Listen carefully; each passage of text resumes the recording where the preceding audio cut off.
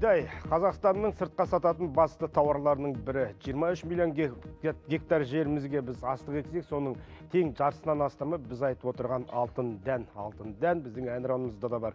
Десе де соңғы екі жылда осы бидайдың бағасы және ұнның бағасы елу пайызға қымбаттапты. Себеп неде ала жаздай жаңбыр жаумай қойып еді.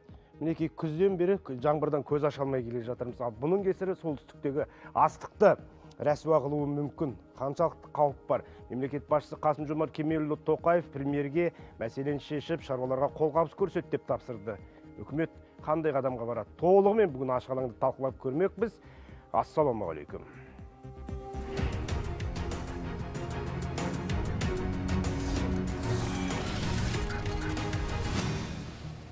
Иә кіріспе сөздің өзі ұзақ болды себебі проблема шаш етектен. Жаңағы жаздағы қуаңшылықты айтайық.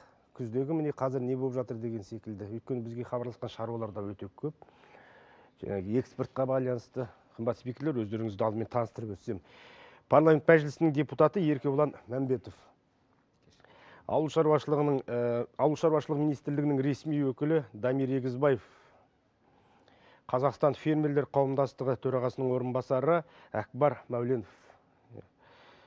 Қазгрейн ұлттық экспортшылар қауымдастығының төрағасы зейнолла әбдіманапов. Және де қазақстан астық одағының өкілі қазбек омаров. Қазір солтүстіктегі астықтың үштен бірі орылып бітті. Дегенмен де жаңағы 250 мың гектардан астам жерде астық шықпай қалмақ шықпаған кезде орылмайды.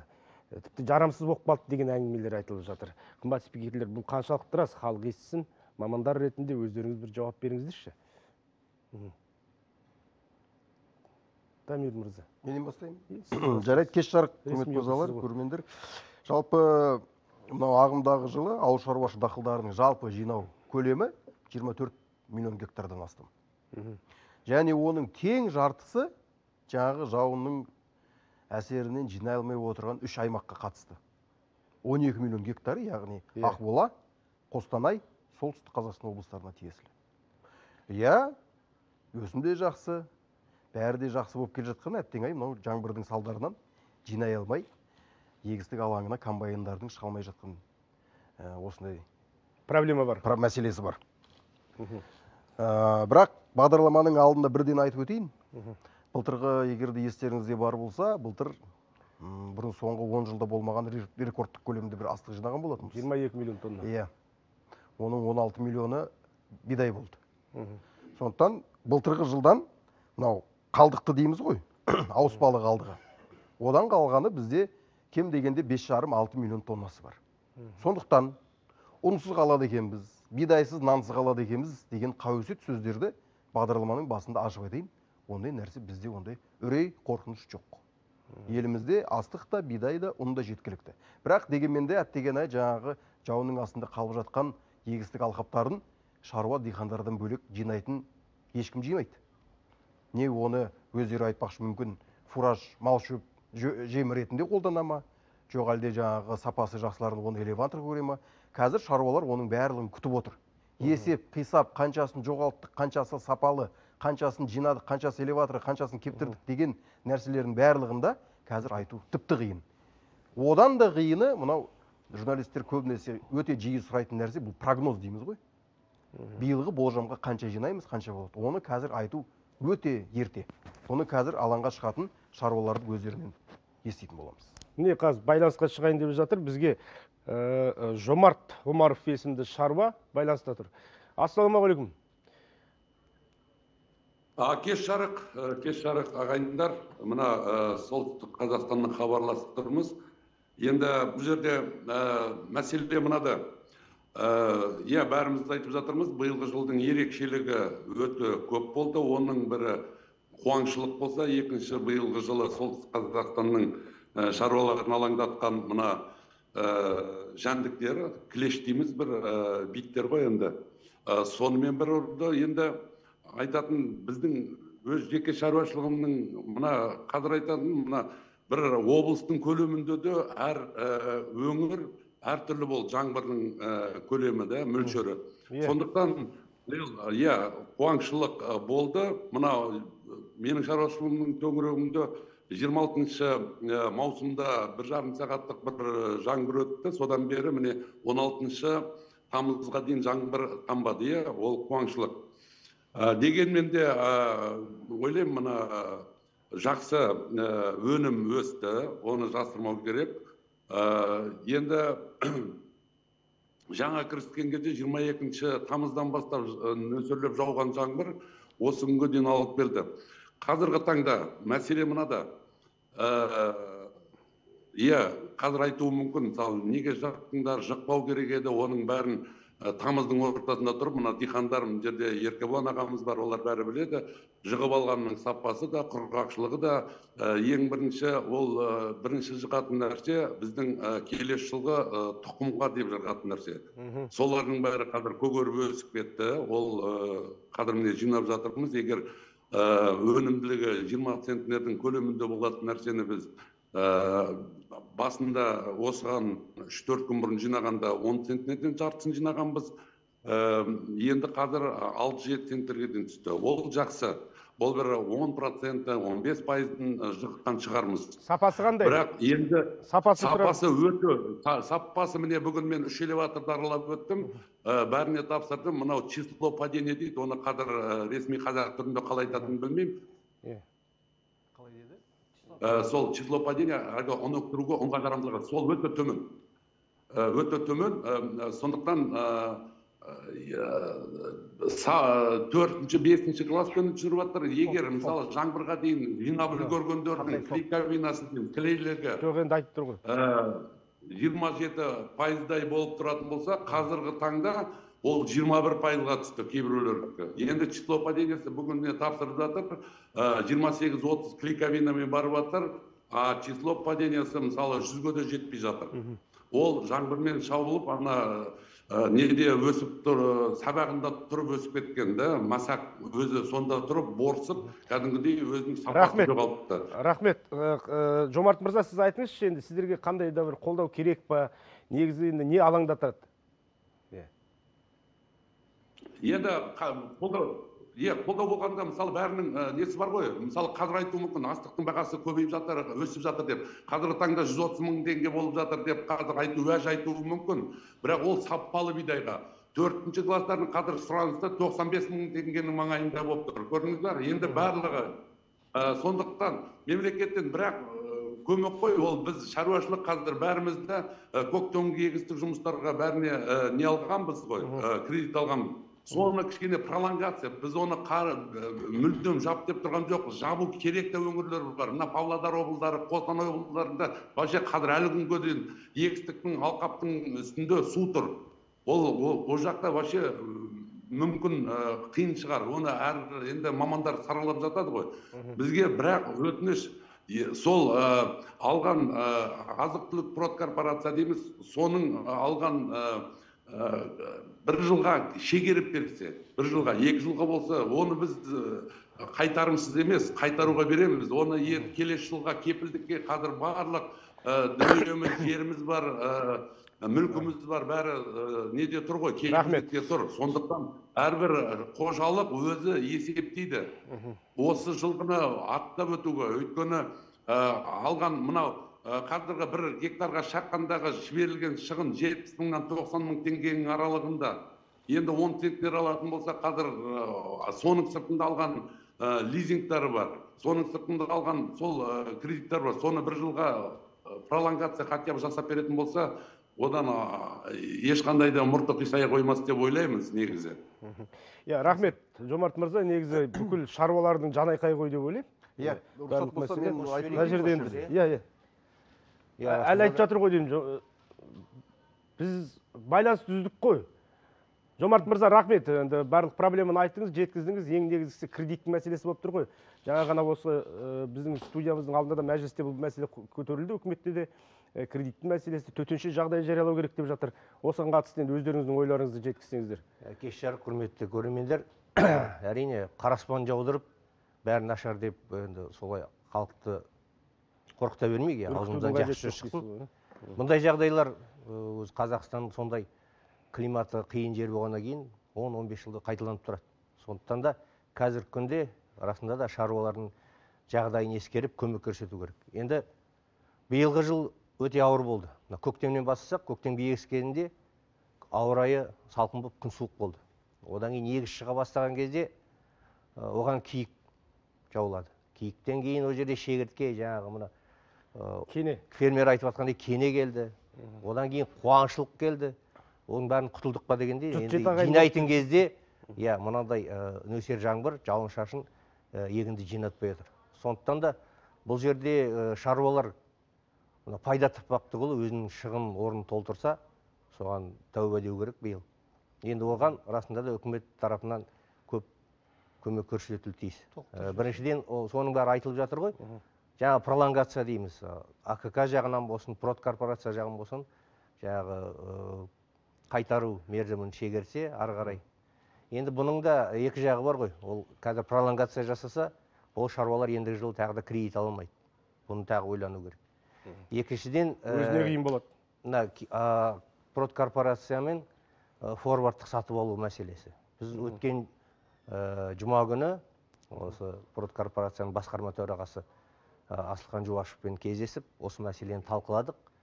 Ол кісінің сол кезде айтқаны ә, біріншіден бағаны біз әлі қоя алмаймыз. Дейді өйткені ә, егіннің кем дегенде бір жартысы жиналу керек қой.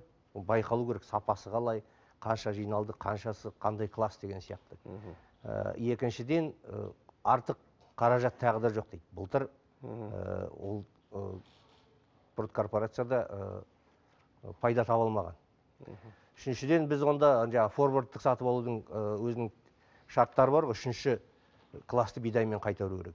Соны биыл енді үшінші классты бидай аз болады. Төртінші бесінші класс болады. Сонымен қайтарса деген ұсыныс айттық ол енді оның бәрін қарастырамыз деді. Жаңағы пролонгацияны тағы да ойластырамыз деді. Енді ары қарай ә, сіз кеше кездестіңіз ғой иә? азық түлік корпорациясының төрағасымен. Кеше кездестіңіз ғой? Жұма күні. Жұма күні соны иә? талқыладық одан бетер енді жаңағы кредитті бәрін айтып жатыр ғой ме- арзандатылған жанармай бөлінді жаңағы астықты кептіруге одан кейін элеваторларды тексеріп жатыр жаңағы кептіретін тарифтарын көтермесін деп. Өте жақсы көмек бірақ біздің тағы бір ұсынатынымыз осы жерде тағы да азық түлік келісімшарт корпорациясы арқылы мына 2010-2011 жылдары осындай бір жағдай болған. Сонда коммерциялық сатып алу болған корпорация арқылы. Сол корпорацияға бір тиісті ақша көлемін бөліп 2-3 миллион тоннасын шаруалардан сатып алса сол сол да бір көмек болар еді. Э, премьер министр әлихан асханұлы осы жаңа форвардтық сатып алуға қатысты мысал келтірген еді. Үкімет тарапынан қаржылық және материалдық техникалық қамтамасыз ету бойынша барлық қажетті шаралар қабылданды. Нарықтық бағадан 15 пайызға дейін төмен бағамен 426 мың тонна дизель отыны бөлінді. 140 миллиард теңге бюджеттік кредит беру көзделген. Сондай ақ жаңа астықты форвардтық сатып алуға 81 миллиард теңге бөлінді. Ақша бөлініп қойған мына жерде мәселе. Бірақ сол ақша қалай игерілу керек деген сұрақ тұрады ғой. Акбар мырза. 81 миллиард теңге енді бұның бәрі ақша емес қой бұның ішінде тауарлық кредит бар. Форвардты сатып таза ақшалай 81 миллиард басқа деп аз көлемде биылғы жылы аз ақша бөлінді. Алдыңғы жылы 70 миллиард бөлінсе иә. Бұған дейінгі функциясында қазақша сөйлейікші азық түлік корпорациясы. Иә корпорациясы деп бәрі көбісі солай айтады ғой. Азық түлік корпорациясының бұрынғы мынау міндеттемелерінде тек қана астықты бидайды сатып алу ғана болады. Биылдан бастап осы ә, функциясын дейміз ғой өзгерттік. Ол жерде тек бидай ғана емес. Сонымен қатар мынау ә, картобы бар пиязы бар күріші бар басқа да халық көп тұтынатын тауарлардың қатарын сол жерге қостық. Бұл өте дұрыс шешім ба деп ойлаймын. Ал мынау бидайға бөлінген сомасы егер де ақбар мы- мырза қателеспесем ә, кемі 20 миллиард. Солай ғой сондықтан шаруалардың айтып отырған осы бағасын нақтылап қойса екен деп сұрап отқаны сол бірақ басында айтқандай жиын терінге қараймыз. Енді мына шаруалардың айтып отқан сұрап отқан көмектеріне келер болсақ ә, күні кеше ғана мемлекет басшысы өзі де нақты тапсырма берді. Ә, жиын терімге шыға алмай жатқан шаруаларға көмек бер деп. Олардың ең басты базынасы не? Ең бастысы мына өздері айтып өткендей несиенің қайтару мерзімін кейінге шегертсе деп. Бұл жерде барлық қаржы институттарымен келісімге келдік. Олар әрбір жаңағы өтінім берген шаруалармен жеке дара қарастырады. Жарты жылға десе жарты жылға бір жылға десе бір жылға екі жылға десе ол да екі жылға. Яғни бұл жерде олардың өтініміне қарай өздерінің жаңағы қиыншылыққа келген жағдайына қарай өздерінің өтінімдеріне қалай Иә, шешім бәріне бірдей емес, иә бәріне бір бірдей емес. Соны айтып отырмын ғой жеке Қандай қиын екіншіден иә. екіншіден мынандай бір ә, практика бар. Егер де биыл мысалға алған көктемде алған несиеңді күзде қайтара алмасаң онда келесі жылы ала алмай сен қара тізімге кіресің. Вот осы нәрседе осы нәрседе жаңа шаруа жігіттердің айтып жатқаны осы. Егер де пролонгация болса келесі жылы мен ала алмай қаламайын ба деген үрей болмасын дегені ғой.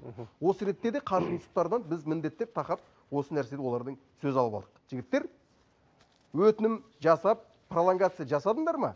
Несие қайтаруын ұзарттыңдар ма? Оларды келесі жылы қара тізімге ілмеуін сұрадық. Және бұл жерде келісім бар. Содан кейін ә, қазір мынау кептіру жұмыстары жүріп жатыр ғой жаңағы. Бидай жиналған бидайды. Оған сәйкесінше ылғалы мол болғандықтан екі есе деп айтпай ақ қояйын бір жарым есе енді жанар жағармай көп кетеді.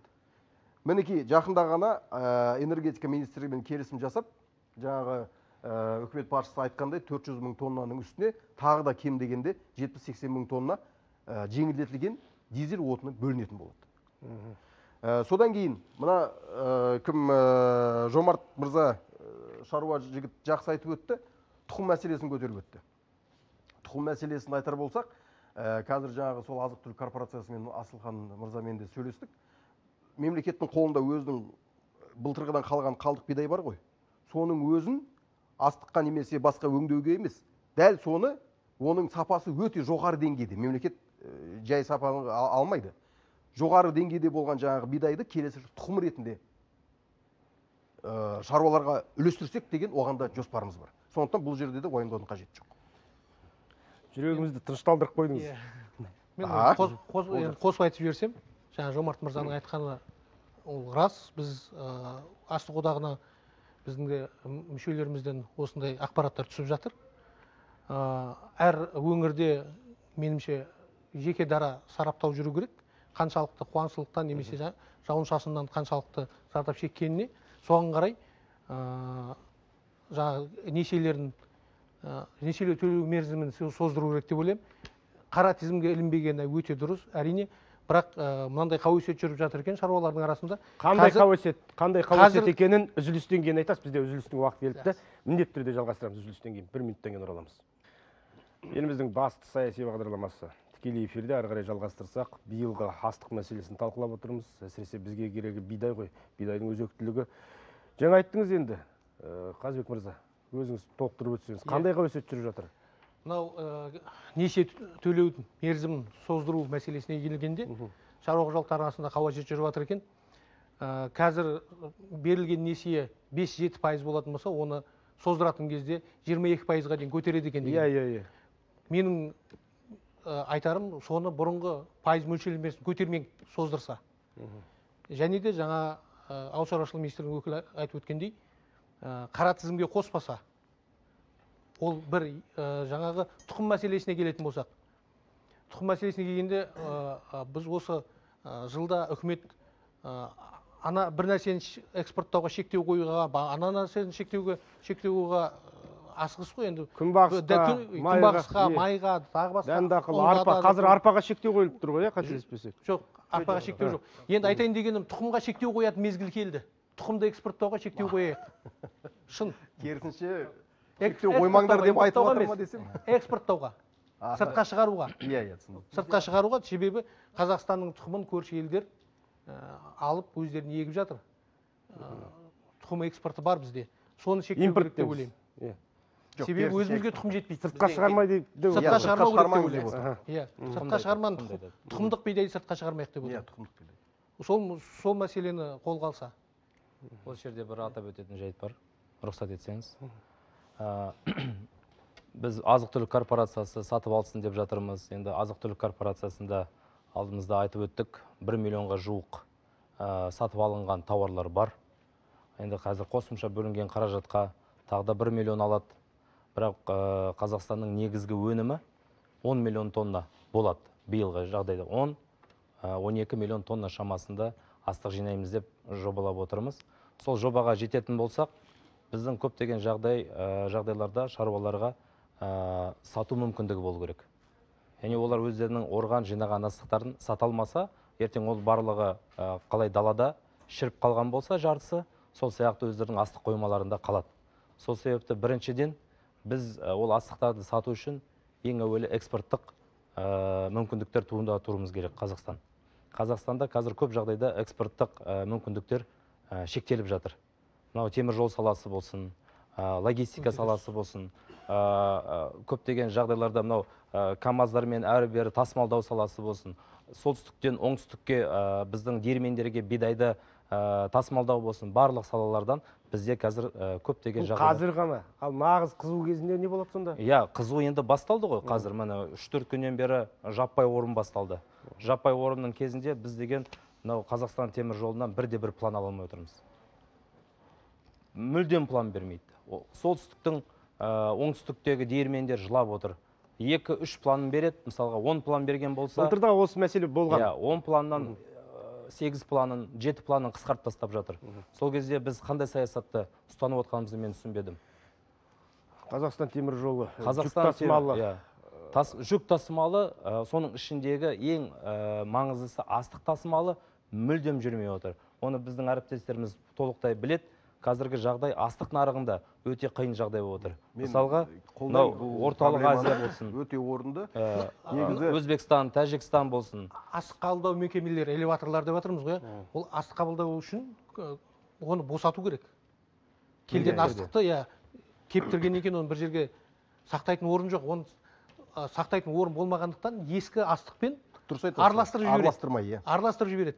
Оны араластырмай вагонға жүктеп алып кетейін десең вагон жоқ. иә мына қосымша жоспар қосымша доп план дейміз орысша иә? Иә. Соны соған рұқсат берілмей тұр. Қосымша пландар жоқ. Кеше э, қыркүйек айында 13 күннен кейін барып рұқсат берілді. жылда қайталанатын қазақстан темір жолының проблемасы ол дұрыс иә, ұйымдастырылмеген иә. ержан жылда. рұқсат болса енді ә, мен де бір ә, етейін деп едім. Осы бұ- бүгінгі мәселе бойынша біздің ә, бірқатар депутаттардың да ә, ойлары бар. Өткен пленарлық отырыста үш депутаттық сауал жасалды. Мынау ауыл партиясынан да ақжол партиясынан да бүкіл партиялардан.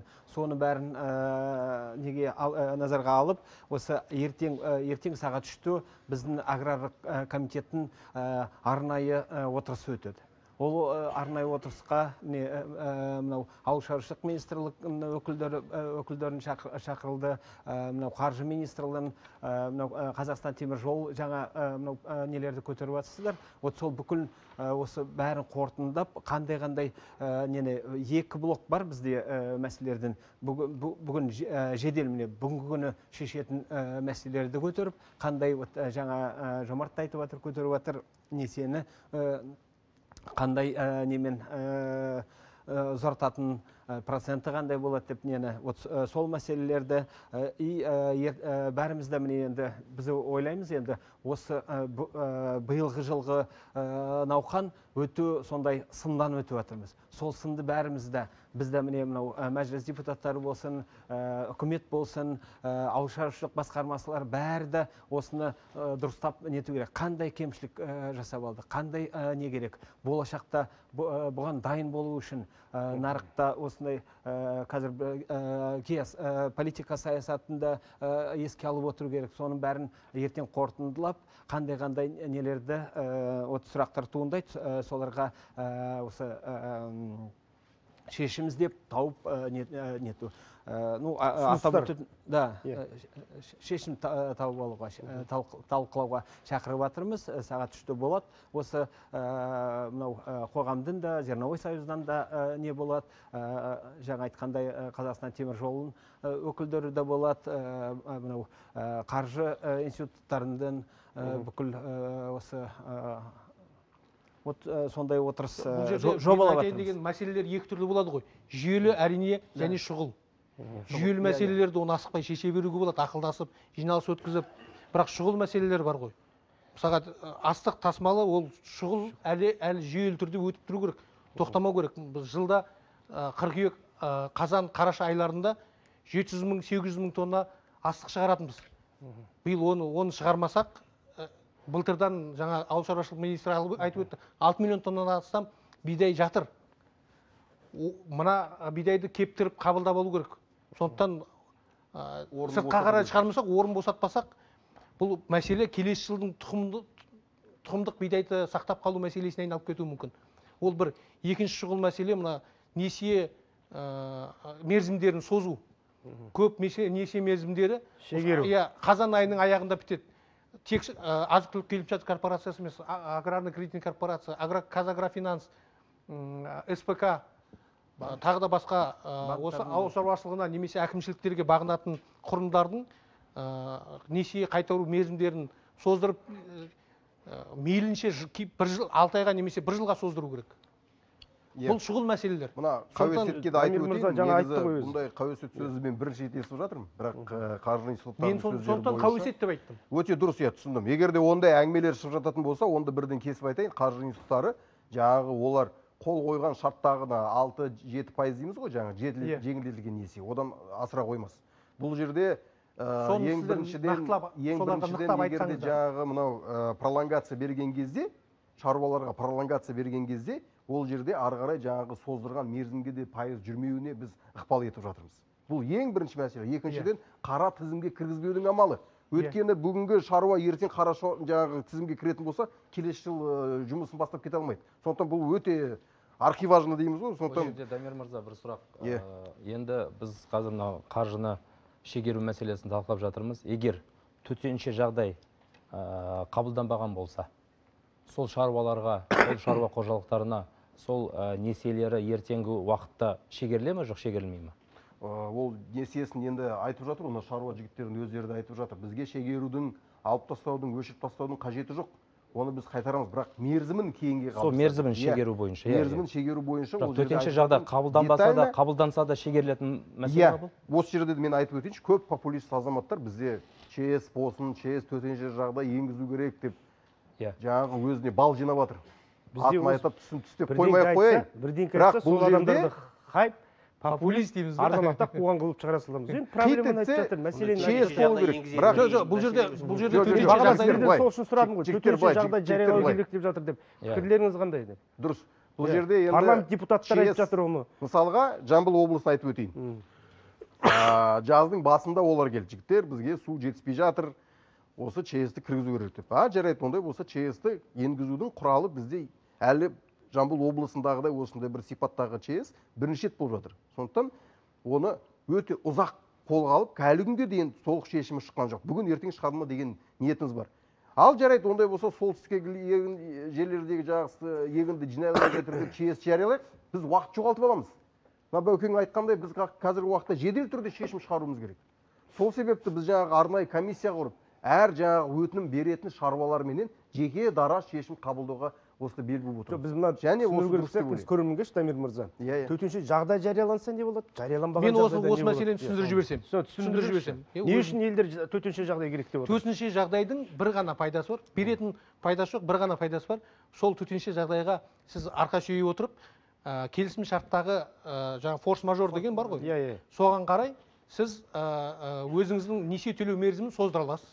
Және несие төлеу мерзімін созғанда ешқандай пайыз өзгермейді және ол жаңағы қара тізімге түсірмейді. Себебі сіз ә, ол несие төлеу мерзімін ә, төтенше жағдайға байланысты создыңыз. Түсіндіңіз ба? Бірақ төтенше жағдай создырудың бір ғана беретін пайдасы осы ғана. Беру керек деп айтатын адамдар сондықтан ол заң бойынша осылай деп айтып жатыр да. Ол ешқандай хайп емес. Бірақ мен оны төтенше жағдайды қолдамаймын. Себебі төтенше жағдай біріншіден ұзақ дұрыс Иә. айтады. Екіншіден ә, төтенше ә, несие пайызын ә, көтеру көтермеу созу созбау әр мекеменің өзінің ә, директорлер кеңесінің құзыретіндегі нәрсе. Директорлер кеңесі бір, ше- бір шешіммен бір отырыста қабылдай салатын нәрсе ол. Түсіндіңіз ба директорлер кеңесі отырып шаруа қожалықтарына алты айға созылсын деген үкім шығарса сол жеткілікті ешқандай заңды өзгертудің немесе жаңағы төтенше жағдай енгізудің қажеті жоқ. Ол жаңағы акк ның немесе азық түлік келісімшарт корпорациясының директорлар кеңесінің совет директоров дейміз ғой. Соның құзыретіндегі дүние. Түсіндіңіз ба бүгінгі міне төтен жағдай жариялау үшін ол қалай өңір облыс өңірінде жариялай ма аудан аудан. Мен өзім 30 жылдан астам шаруашылық басқарғам э, бір шаруашылықтың ішінде бір бір э, мынау жауын жауғанда да бір э, бір э, бір неге э, жауын жауады бір жерге жаумайды. Э, басқа да нелер болады. Оны қалай ол э, ол ол біріншіден екіншіден э, ол э, төтен жағдай жариялау үшін ертең э, осы мынау э, этот э, отырысқа ол э, министрліктерді шақырып жатырмыз ақылдасамыз оны оны э, қалай не ететінін. Оны э, жариялау үшін э, біраз э, э, өте қиын не жаңа Иә, э, да- жоғалтып да, алады. уақыт кезеңдер біраз- кетеді біраздан- дейсіз. Иә, жақсы. Э, түсінікті. Түсінікті. сосын бұл чс деген нәрсе республика деңгейінде қабылданбайды ғой.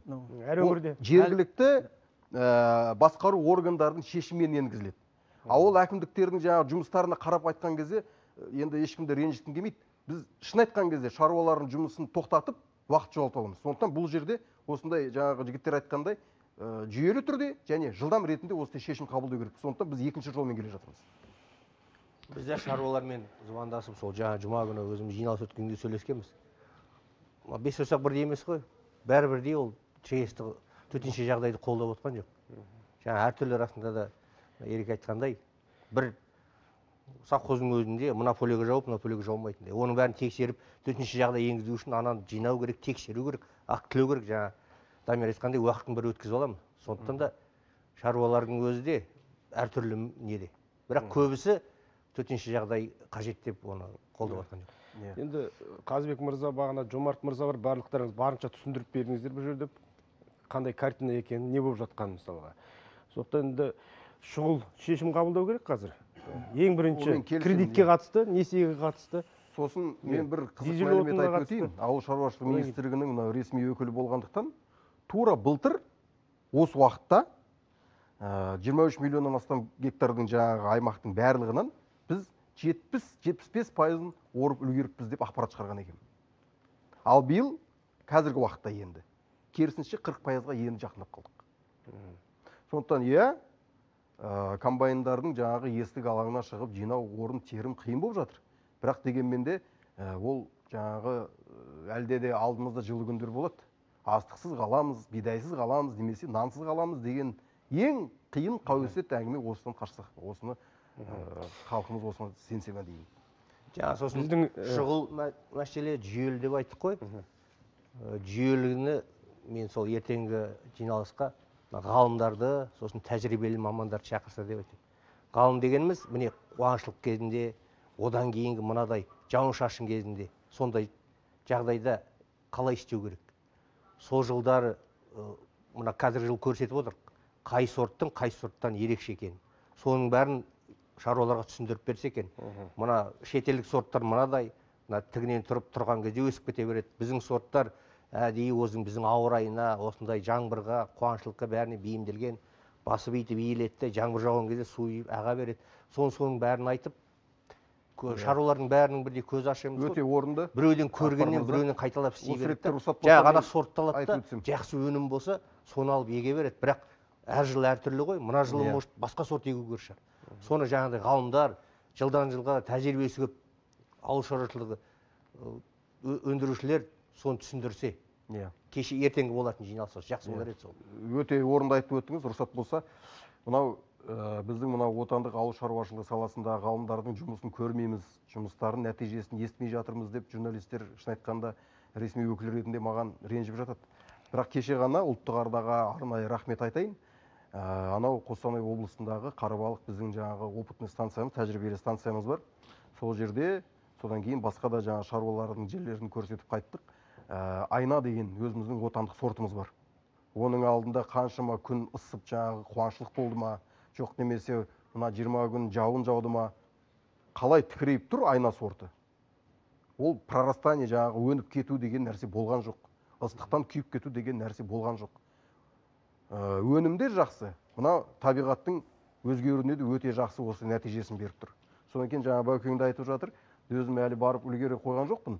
Ә, қарағанды облысында таймас деген сортты да еккен екен. Нәтижесі де өте жоғары.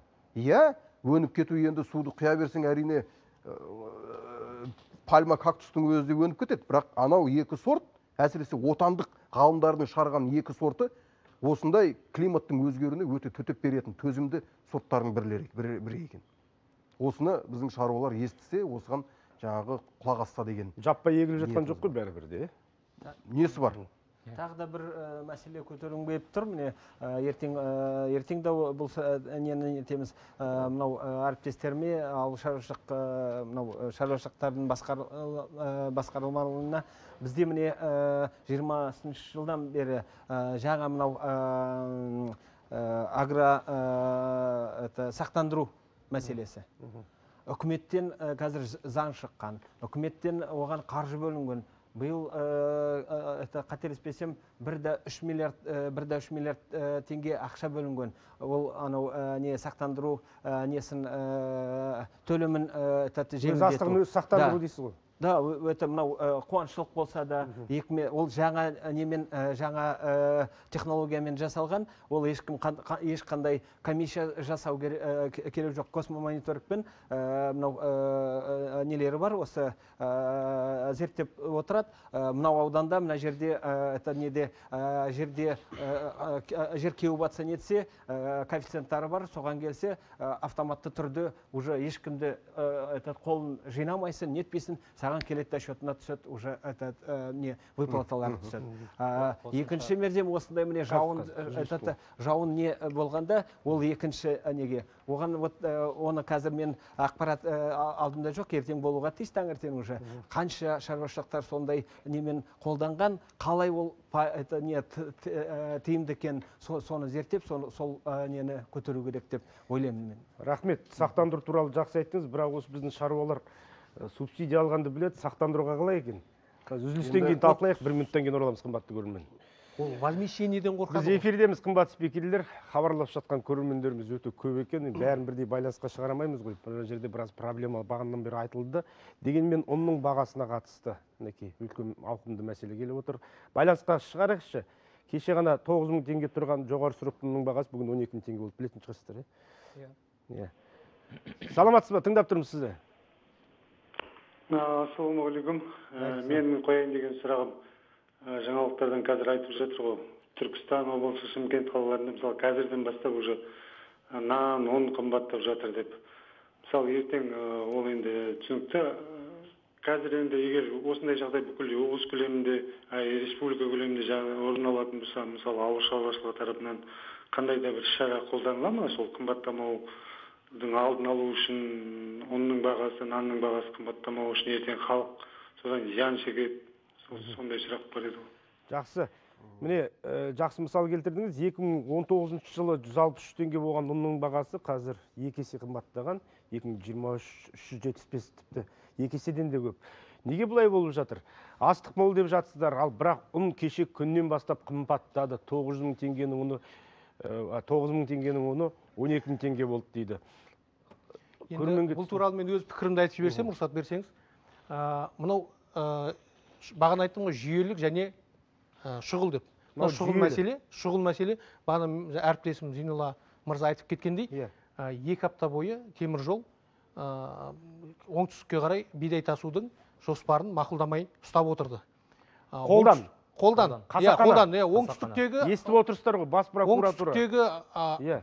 А, ұн өндіретін зауыттардың бәрі тоқтап қалды. Ұн тапқыштылығы пайда болды. Ойлаңыз дәл қазір? Дәл қазір түркістан қызылорда облысы оңтүстік өңірде өздерінің бидайы өздеріне жетпейді немесе өздерінің бидайын солтүстіктің бидайымен араластырмасаң сапалы ұн шықпайтын өңірлерде о мына а, атырау ақтай айтып тұрған жоқ. Барлық өңірлерде тапшылық, тапшылық пайда болды. Себебі не тек қана бидай емес ұн тасуға да ешқандай план бермей қойды. Тапшылық пайда болғаннан кейін сұраныс көбейгеннен кейін сұраныс пен ә, жаңағы ұсыныс пен ә, сұраныстың арасындағы баланс бұзылғаннан кейін баға қымбаттайды ғой. Ол уақытша деп ойлаймын да бұл қымбаттан қайтадан орнына келу керек. Себебі мына орақ жүргеннен кейін ә, мына бидайдың мәселесі ә, сапасының мәселесі қазыбек түсінікті мырза ол алдыңызда тұр ғой сандар. Міне 2019 енді бұл бұл бұл қашан бізде бұл деген бұл деген мен бағаның өсіп жүйелі қайтадан түскенін бұл Ерғана шұғылды бұлай айтып болған тұрмын да жоқ енді жүйелін айтайын. Бұл шұғылы бағана шұғылды түсіндірдім Ә, міне иә? жүйелі- 2021 Сөзімді жылы ау- это міне ә, бидайдың, бағасы бидайдың бағасы 180 мыңға дейін көтерілген. Ұнның бағасы жаңа ә, 263 теңге ме? Бу- а, е- 200, ә, үш теңге. Қазіргі күні бүгінгі күні бидайдың бағасы солай көтерілген деген жерде 120 мың теңге. Ол бұл бары бидайдың бағасына байланысты емес. шындығы бар. Міне. Сөзіңіздің шындығы бар. Еш уақытта бізде баға өскен баға төмен артқа бармайды. Ә, бұның ә, біз өзіміз аң таңбыз негізі түсінбейміз не себепті екенін. Ә, жаңа депутат мырза атап өткендей 21 21 жылы бізде қуаңшылық болды. Құрғақшылық болды егін аз жинадық. Сол кезде ә, біз жалпы мынау ә, дәнді дақылдар бойынша 11 миллион тонна шамасында жинадық. Ресми түрде 14 миллион деп хабарланды. Жалпы ә, енді мынау ә, астық одағы бар. Сонымен қатар басқа одақтардың сана- санауы бойынша бір 11 миллион шамасында жиналды. Сол себепті бізде астық тапшылығы көктемге қарай болды. Сонымен қатар ресей өзінің мынау евразиялық одақ мемлекеттердің барлығына экспорттауға өзінің бидайына тыйым салынды. Сол кезде 106 мың теңгеден ә, 170 мың теңгеге дейін бидайдың бағасы өсті. Сол кезде? Иә. Мынау ә, үшінші айда ә, наурыз айында тыйым салынды. 15 наурыз сол бірінші шілде айына дейін созылды. Бірінші шілдеге дейін бізде тыйым салынған өзімізде тапшылық болған бидай. Ресейден импорттай алмадық. Сол себепті бидайдың бағасы екі есе екі жарым есе өсті. Сол өскен бидайдың бағасымен ұнның да бағасы нанның да бағасы өсті. Бірақ 22 жылы дамир мырза атап өтті біз 22 миллион тонна жинадық. Астық бізде артық болды көп болды.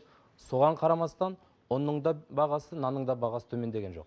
180 мың теңгеден 170 мың теңгеден тұрған бидайдың бағасы ә, осы күнге 80 мың теңгеге дейін төмендеді.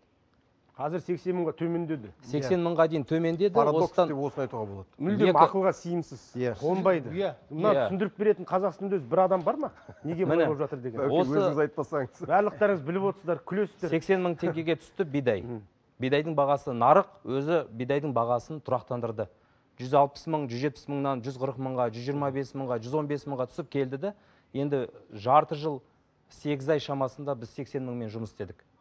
Бірақ ішкі нарықта не ұнның не нанның бағасы төмендеген жоқ. Иә себебі неде? Ешкім білмейді. Одан кейін ә, қазіргі уақытта не үшін бидайдың бағасы ә, ұнның бағасы өсті? Бұның екі мәселесі бар. Біріншіден осы нөсерлеп жа- жауған жаңбыр. Өйткені екі екі жарым апта шамасында біздің орақ жүрмеді орым жинамадық. Оның барлығы тұрды. Жаңбыр болғаннан кейін барлығымыз қорықтық. Ары қарай жаңбыр тоқтамайтын болса биылғы жылы біз астық жинамаймыз деп. Ол қорқыныштың үрейдің арқасында. Ол бір екінші мәселе қазбек мырза атап өткендей жүк тасымалы. Жүк тасымалы тұрып қалды. Біздің өзіміз барлығымыз білеміз үш аймақта көбінесе бидай орналасқан иә? Қостанай облысы ақмола облысы солтүстік қазақстан облысы. Қалған аймақтарда бидай осы аймақтардан та- ә, тасымалданады. Бірақ сол жаққа қасақана қасақана деп айтпасам мен басқаша айта алмаймын. Темір жол қосымша пландар бермеді. Екі апта уақыт. Екі апта уақыттың арасында біздің барлық оңтүстік өңірдегі батыс өңірдегі диірмендер өздерінің шаруаларын тоқтатуға дейін келді. Біз барлығымыз у шу көтерген кезде ә, берілген мысалға бір компания ә, елу жүз вагонға план берген болса соның елу пайызға қысқартып берді. Мысалға біреуде 100 вагонға не тұр жүк тұр. Бірақ ол 100 вагон емес оған 50 вагон берді. 50 вагонға бар адамдікін 25 вагонға қысқартып қысқартып берді. Ол ушудың арқасында. Негізгі ә, бұл қандай себеппен қандай ә, мақсатпен істелінген осы уақытқа дейін қазақстан теміржол тарапынан бірде бір түсініктеме алған жоқпыз. Осы екі себептен бізден ұнның да нанның да бағасы өсті. Енді орақ басталды орым басталды бірақ жүк тасымалы әлі уақытқа дейін тұр. Қазір қайтадан қосымша алған пландарын орындап қайтадан план берген адамдар қайтадан планын ала алмай отыр. Сол кезде біз қандай ә, тасымал құрып отырмыз? Қазақстан темір жолы қазақстанның күре тамыры. Темір күре тамыр. Бізде көл жоқ бізде теңіз жоқ бізде ә, жол тасымалы ол өте қымбат. Сол себепте бір ақ тасымал бар ол темір жол тасымалы. Темір жол тасымалы бүгінгі уақытта барлық президенттің алдыға қойған мақсатының барлығына былай орысша айтқан кезде саботаж қарсы келіп отыр. Біздің президентіміз айтады сіздер бизнесқа ә, қолдау көрсетіңдер.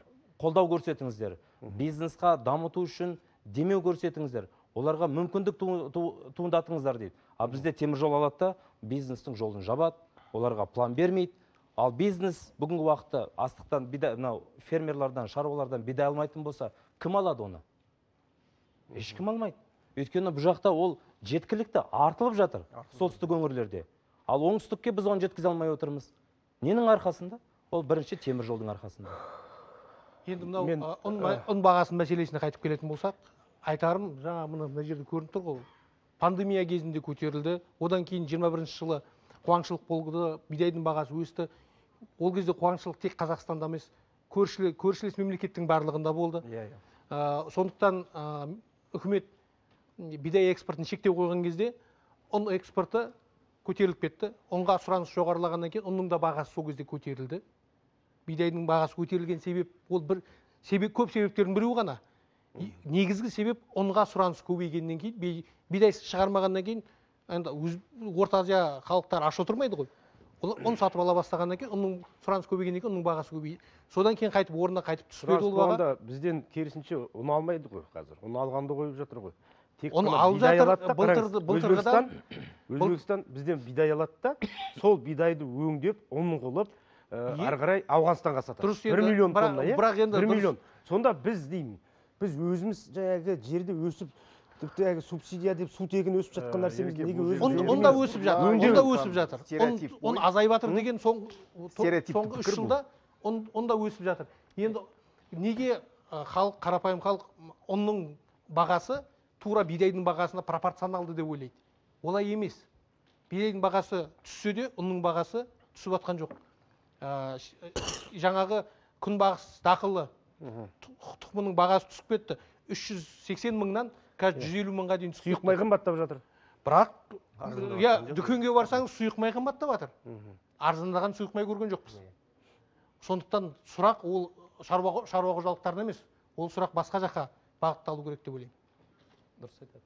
Бұл жерде ұнның бағасын енді анау өзінің цепочкасы бар ғой. Соның бәрін жаңағы прокуратура қайда қарап отыр демекші тексеру керек шығар. Бұл жерде ұн өндіруші қымбаттатып жатыр ма арасындағы трейдер ма делдалдар ма болмаса сауда нүктелері ме қымбаттатып жатқан сосын соның бәрін нақты айтып тексеру отыр ғой мына жерде мысалға жеткізейік десек жеткізе алмаймыз дейді. Бизнеске ең үлкен проблема не болып тұр? Логистика болып тұр. Солай емес? Логистика. ал логистиканы әдейі жаңағы қазақстан темір жолы бұл жерде қолмен байлап отырған болып тұр ғой. Сіздерге жаңағы бағдарламаны жоспарды бермейді. Енді істеу бүгінгі күні ақпарат алып отырмыз. Логистикалық компаниялар не істеу керек енді? Енді мынау бір айдан кейін не болады дамир мырза? Ә, мәселе мынада ғой жігіттер. Бидай ұн жоқ емес ол бар. Бірақ егер де осындай үлкен алқапты жерімізге бір бірімізге өсіріп отырған бидайымызды өнімімізді тез арада жеткізіп отыра бермесек бұл күнге ары қарай тағы мәселе ушығып кетуі мүмкін. Сондықтан енді өзіміздің енді әріптес ретімізде оларды енді түсініп отыр мемлекеттік компания ғой. Бүйтіңдер былай істеңдер деп айту енді кеңес беруден бұрын. Дәл осындай қызған шағында мына жігіттердің сұрап отырған шағында вагондарын дермедер жаңағы уақытында беріп отырса мына бағаның өсуі де жоқшылық деген нәрсе де болмайды. Ал мынау көлікпен тасымалдау деген орысша айтқанда не вариант жігіттер? Ол мүмкін емес. Оның бағасы екі есе өсіп кетеді. Бізге сондықтан бұл жерде былтыр бұл проблема айтылып ашық жайымыз бар. ашық алаң эфирінде мемлекет басшысы осы проблема қозғалғаннан кейін есіңізде шығар. Ә, Есімде бір былтыр, иә. аптаның ішінде жаңағы логистиканың проблемасы шешілді. Білем, білем, иә. он күнге жеткен жоқ. Бірақ қазақстан ә, темір жол жүк тасымалының басшылығы ауысты ғой деймін иә қателеспесем. Жоқ мен осы жерде атап Иә. өтейін. қысқа былтыр нұсқа былтыр былтырғы уақытта ә, жүк тасымалының ә, директоры петров ә, владимир викторович деген кісі болған. Осындай үлкен у шу ә, даудамай шыққан кезде ол кісі жұмыс, жұмысынан шектетілді. Сол бір жыл шамасында жұмыс орнында ол кісі болған жоқ. Осы қыркүйек айында сол қайта өз орнына қайтадан тағайындалды. Енді барша былай айтқан кезде бизнес қауымдастығының барлығы таңғалып отыр да. Таңғалды иә. Иә қалай? Соншалықты былтыр. Таңғалатын түгі жоқ мәселені шешілу керек деп ойлаймын. кейін қымбат спикерлер уақыт тауып келгендеріңізге рахмет айтамын. Біраз мәселенің басы қайырылды бірақ тиісті органдар енді шұғыл нәтиже шығару керек. Бүгінгі айтылған әңгіме діттеген жеріне жетеді деген ойдамыз. Сау болыңыздар.